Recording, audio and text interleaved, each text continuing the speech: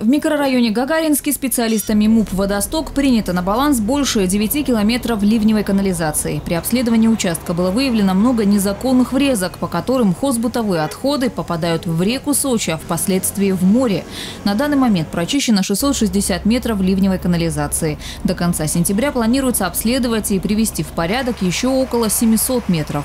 Особое внимание будет уделяться проблемным участкам, к примеру, на улице Гагарина улица Гагарина, в районе дома номер 47А.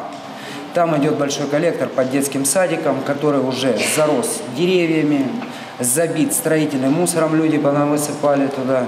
Соответственно, сейчас мы формируем, обследовали его, формируем э, расчеты, ну и будем э, за счет собственных средств водостока восстанавливать данную сеть. Это сеть, которая у нас выходит как раз в реку Сочинку. Работа по прочистке ливневой канализации продолжится. Мэр города потребовал при обнаружении забитых ливневок без промедления сообщать главе районной администрации.